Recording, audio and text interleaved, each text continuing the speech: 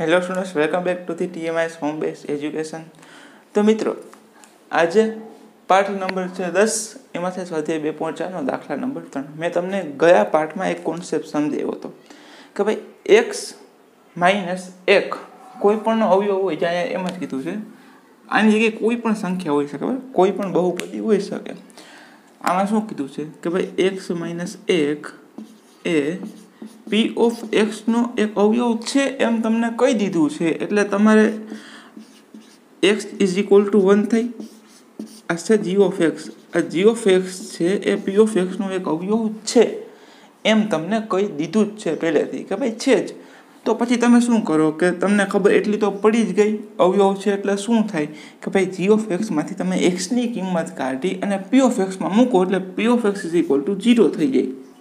ફરી વખતથી રિપોર્ટ કરું છું. ભાઈ જી ઓફ એક્સમાંથી એક્સની કિંમત કાઢીને પી ઓફ એક્સમાં મૂકો. એટલે પી ઓફ એક્સની કિંમત ઝીરો થઈ જાય. તો ઝીરો થઈ જાય તો અવયવ છે. ને જો ઝીરો ન થાય તો અવયવ નથી. હવે તમને પહેલાંથી જ કહી દીધું કે અવયવ હોય. એટલે કે અવયવ છે જ. તો તમારે શું શોધવાનું છે? કેની કિંમત શોધવાની છે. એટલે આપની ખબર પડી જાય છે કે એક્સ માઇનસ એકમાંથી એક્સની કિંમત કાઢી અને આ પી ઓફ એક્સમાં આપણે મૂકશું. એટલે આના બરાબર શું થઈ જશે? ઝીરો થઈ જશે. બરાબર છે? ને આપણે કેની કિંમત શોધવાની છે? આઈ ઓકે એટલી વાત તમને બરાબર રીતે મગજમાં બેસી ગઈ હશે? તો ચાલો આપણે પ્રક્રિયા ચાલુ કરીએ કે ભાઈ આપણે g of x is equal to x minus one તેથી x minus one is equal to zero તેથી x is equal to one એક્સની કિંમત એક આવી. એને મૂકો પી ઓફ એક્સ એટલે કે ભાઈ પી ઓફ વનમાં તમે મૂકશો. એક્સની કિંમત પી ઓફ એક્સમાં મૂકશો એટલે શું થાય? એને પી ઓફ વન કહેવાય. અને p of one is equal to શું થાય? જીરો અને કારણ લખવું હોય તો લખી લેવાનું કે એક્સ માઇનસ એક એ પી ઓફ એક્સનું એક અવયવ છે અથવા અવયવ આપેલ છે. સમજાણું ભાઈ? અવયવ આપેલો જ છે. એટલે ભાઈ, આ તો અવયવ છે જ. એક આમાં મૂકશો એટલે એ બરાબર જીરો થઈ જશે. એવું કીધેલું જ છે. એટલે એક મેં આમાં મૂકીને બરાબર જીરો લખી નાખ્યું. તેથી p of one p of one એટલે શું? પી ઓફ વનની જગ્યાએ જોઈએ પી ઓફ વન લખીશું. એક્સનો વર્ગ એટલે વનનો વર્ગ પ્લસ એક્સ એટલે વન પ્લસ કે આની જગ્યાએ પી ઓફ વનની જગ્યાએ પી ઓફ વન આખા આખું સમીકરણ મેં લખી નાખ્યું, બરાબર જીરો તેથી એકનો વર્ગ એટલે એક એક એટલે એક પ્લસ કે ઇઝ ઇક્વલ ટુ ઝીરો એટલે કે ઇઝ ઇક્વલ ટુ માઇનસ બે થઈ જાય. કેમ ખબર પડી? તો કે ભાઈ એક વત્તા એક એટલે બે બે બરાબરની ઓલી બાજુ જાય એટલે માઇનસ બે, કે ઇઝ ઇક્વલ ટુ માઇનસ બે. તો કેની કિંમત શોધવાની હતી કેની કિંમત ગોતી લીધી, દાખલો થઈ ગયો પૂરો. એકદમ ઇઝી છે. પણ કોન્સેપ્ટ છે, એને કંઈક વજનથી આપણે જો સમજ્યા છીએ, એવી રીતે સમજો હોય તો તમને આવડી જાય. બાકી આવડે નહીં. બાકી ખબર પડે નહીં. આમાં પણ સેમ પ્રોસિજર છે પી ઓફ વન છે ઇઝ ઇક્વલ ટુ ઝીરો થાય. શું કામે ઝીરો થાય? કેમ કે એક્સ માઇનસ એક પી ઓફ એક્સનો એક અવયવ છે. એટલે તમે જો અહીંયા જે નિશાની હોય ને માઇનસ વન છે, તો અહીંયા પ્લસ વન મૂકી દેવાનું. બરાબર ઝીરો કરી નાખવાનું. આમે થાય. કાંઈ વાંધો નહીં. જેટલું યાદ રહે એટલું કે એક્સનો વર્ગ માઇનસ વર્ગમૂળમાં બે. એક્સની જગ્યાએ શું મૂકવાનું છે? ભાઈ એક. વર્ગમૂળમાં બે ગુણ્યા એક્સ એટલે એક પ્લસ વન બરાબર ઝીરો તેથી તેથી નિશાની કરવાની શક્ય હોય ત્યાં સુધી બરાબરની નીચે જ બરાબર આપણે લખતા હોઈએ છીએ. તો આ લખવાની પેટર્ન છે, એ પણ તમે ધ્યાન રાખજો. એના પણ પરીક્ષામાં માર્ક હોય છે, બરાબર? તો એકનો વર્ગ એટલે એક, એટલે કે ગુણ્યા એક એટલે કે જ કહેવાય. માઇનસ વર્ગમૂળમાં બે ગુણ્યા એક એટલે વર્ગમૂળમાં બે જ કહેવાય. પ્લસ એક બરાબર ઝીરો હવે આપણે કેની કિંમત શોધવાની છે ને? કેની કિંમત શોધવાની છે? એટલે કેને સૂત્રનો કરતા બનાવશું? એટલે કે ઇઝ ઇક્વલ ટુ શું થઈ જશે ભાઈ? વર્ગમૂળમાં બે માઇનસ એક. તો થઈ ગઈ. કેની કિંમત? જો આને બરાબરની ઓલી બાજુ આવવા દીધું, આને બરાબરની ઓલી બાજુ આવી દીધું. બરાબર? તો આ થઈ ગઈ કેની કિંમત. દાખલો થઈ ગયો પૂરો. ઓકે મિત્રો? તો સ્વાધ્યાય બે પોઈન્ટ ચારમાં દાખલા નંબર ત્રણમાં આ પહેલો અને બીજો દાખલો મેં કરાવ્યો છે. ત્રીજો અને ચોથો તમારે જાતે કરવાનો છે. બરાબર? તમારે જાતે કરવાનો છે. આવા હજી ઘણા બધા દાખલા, એટલે ઘણા બધા તો નહીં, પણ એક બે દાખલા હજી આપણે અહીંયા જોઈએ. બરાબર છે? તો ચાલો મિત્રો આપણે જોઈએ નેક્સ્ટ દાખલા.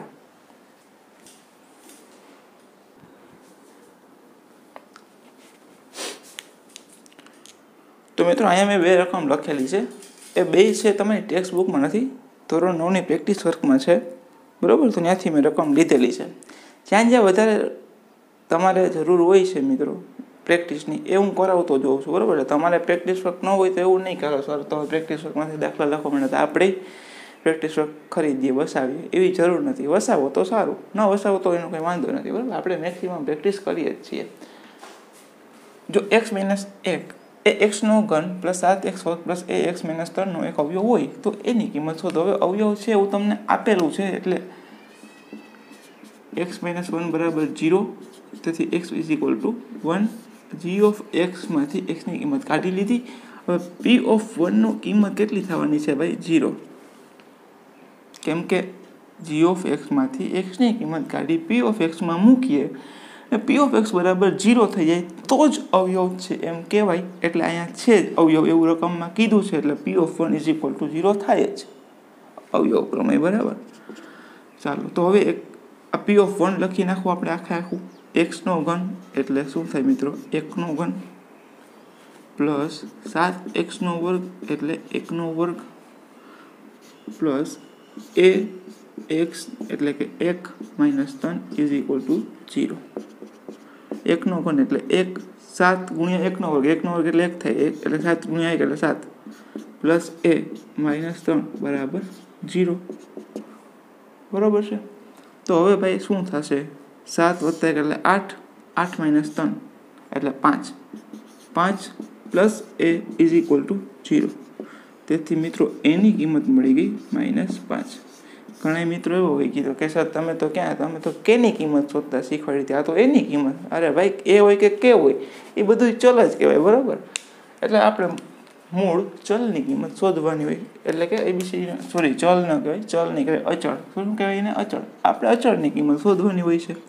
એબીસીડીનો કોઈ પણ અક્ષર આપણે કંઈ લાગુ પડતું નથી. બરાબર? A is equal to minus પાંચ આવી ગયું. એવો જ એક બીજો દાખલો છે, જ્યાં મેં તમને રકમ લખી દીધી છે. તમારે તમારી રીતે ટ્રાય કરવાનો છે. એકદમ ઇઝી છે. ઓકે મિત્રો? તો હવે આપણે જોઈએ એક નવી ટાઈપ જો કે તમારા માટે નવી નથી. તમે ધોરણ આઠમાં પણ શીખી ગયા છો, જેનું નામ છે અવયવ પાડો. તો મિત્રો, અવયવ પાડો છે, દ્વિઘાત સમીકરણના અવયવ પાડવાની રીત છે એ આપણે જોઈએ.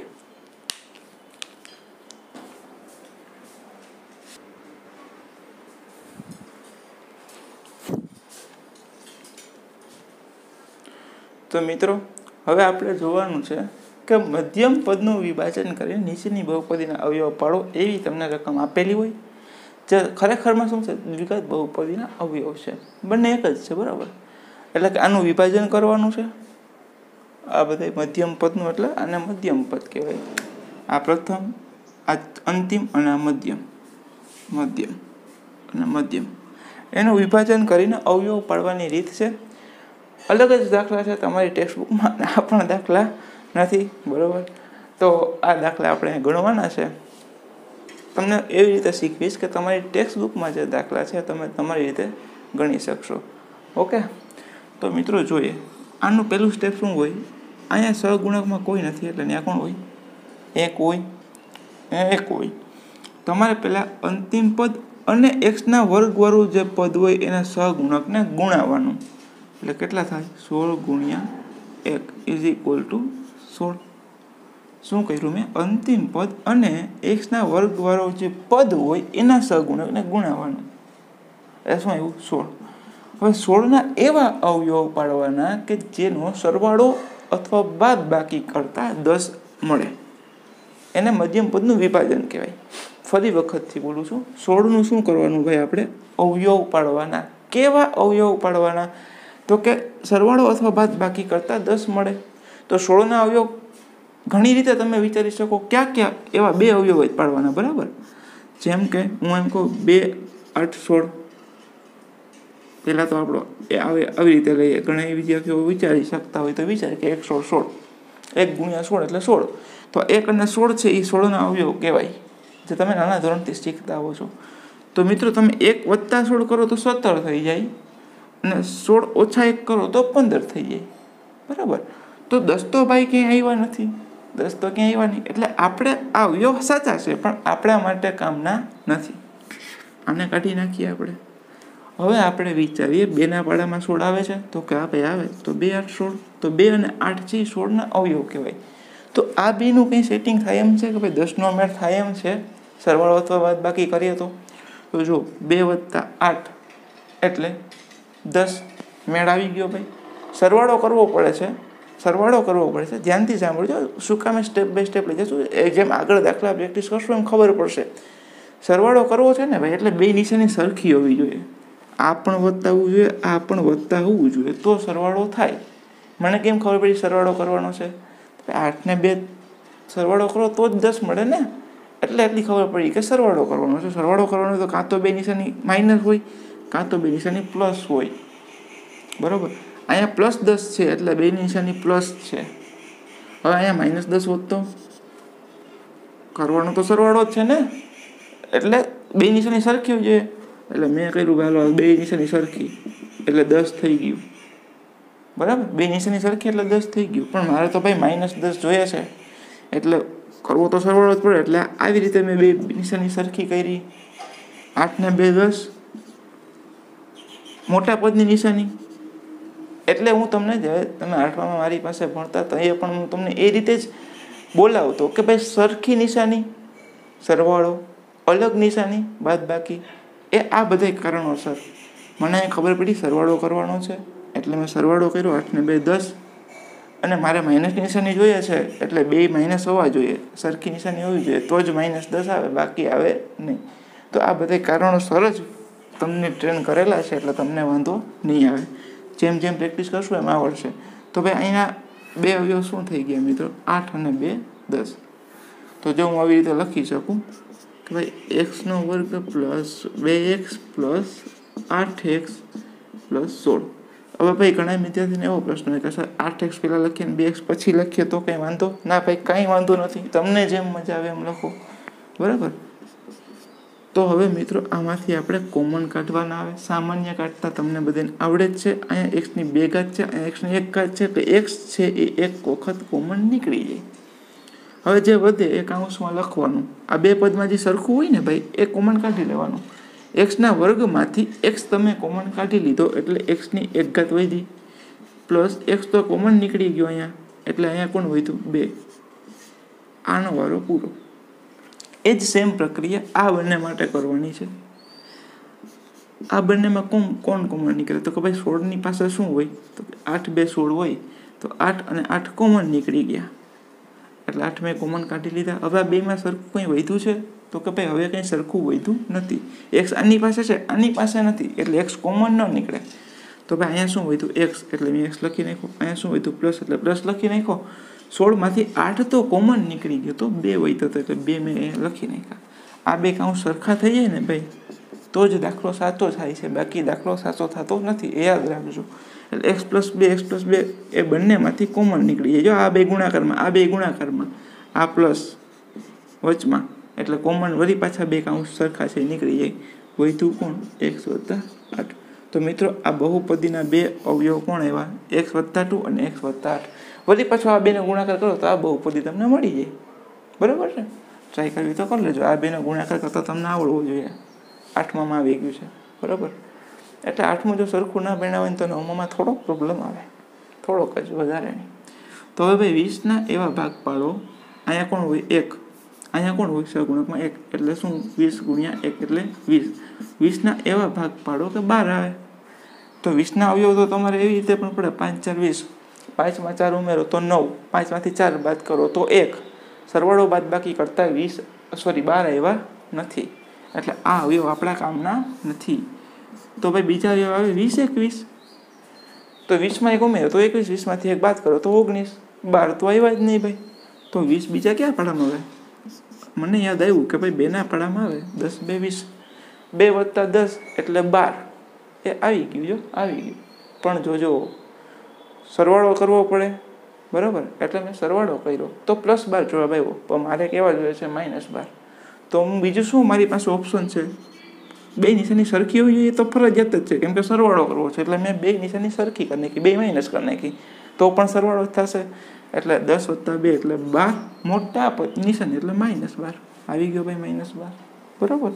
એટલે હવે આપણે આવી રીતે થોડુંક દાખલો હું સ્પીડમાં જાઉં. કેમ કે હવે તમને ખબર પડવા માંડી એક્સનો વર્ગ એટલે માઇનસ બે એક્સ માઇનસ દસ એક્સ પ્લસ વીસ.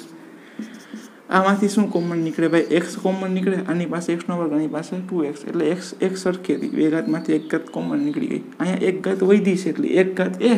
અને માઇનસ બે એક્સમાંથી એક્સ તો કોમન નીકળી ગયો એટલે વધુ શું? બે. આનો વારો પૂરો. એ જ પ્રક્રિયા આમાં કરવાની છે.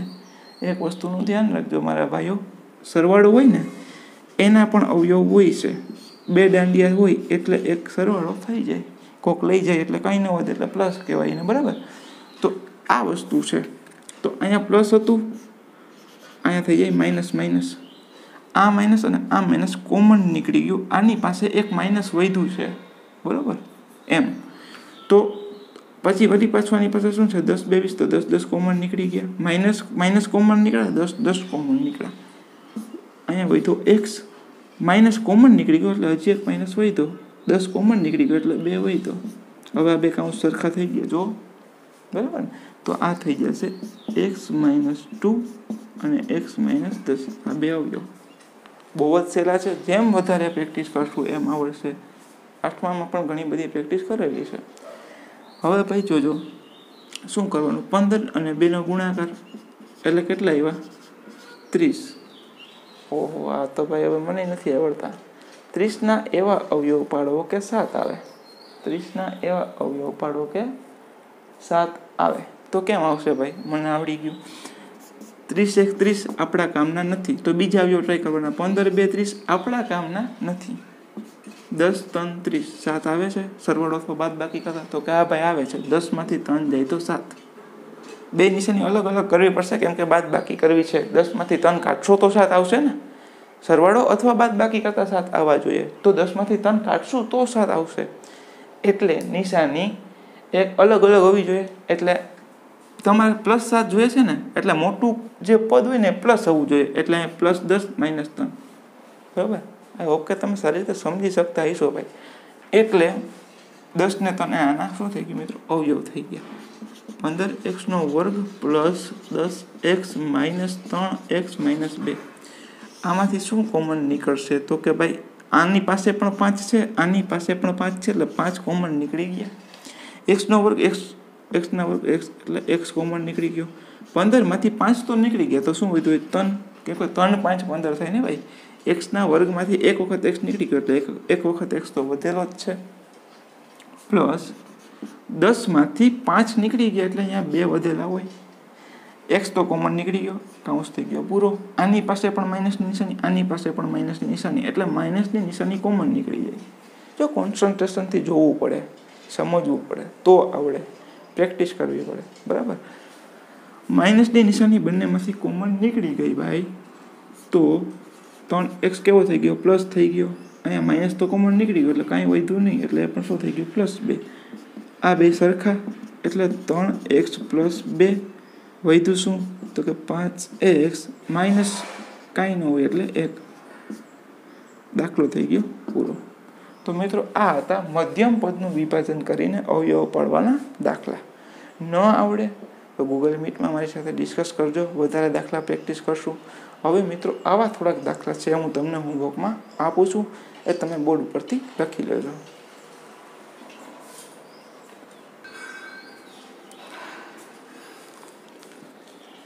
તો મિત્રો આ દસ દાખલા છે, આમાંથી તનક તો મેં કરાવ્યા, એ જ છે, બરાબર? ત્રણ દાખલા તો મેં કરાવ્યા, એ જ છે. તો તમે આ રકમ લખી લ્યો, બરાબર? બધે આસાનીથી થઈ જાય ઇઝીથી થઈ જાય એવા છે.